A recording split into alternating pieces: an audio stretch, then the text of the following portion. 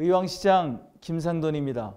우리 시는 코로나19의 유행에도 확산세를 잘 막아왔으나 지난달 29일 7명이 확진 판정을 받은 후 최근 5일 동안 22명의 확진 환자가 발생하여 12월 11일 현재까지 총 67명이 코로나19 확진 판정을 받았습니다. 인구 대비 확진자 비율은 여전히 적은 편이나 이달 들어 발생한 코로나는 그 전파력이 강해 무차별적으로 감염되고 있는 실정이어서 가까이 지내는 가족에게 전염되는 경우도 많았습니다.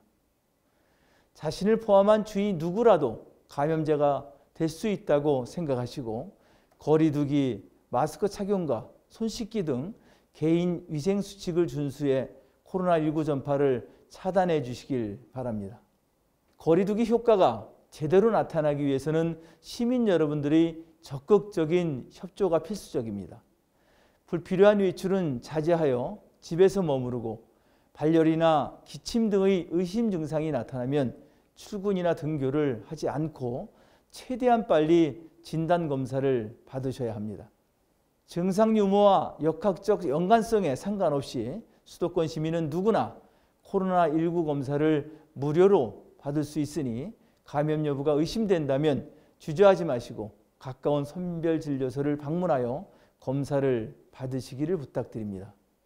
감염에 대한 불안 속에 거리두기로 갑갑한 일상을 보내고 계신 시민 여러분. 비록 서로 몸은 멀리 있더라도 조금만 더 인내하고 마음은 서로를 격려하며 많은 이해와 협조로 이 위기를 함께 극복해 주시기를 부탁드립니다.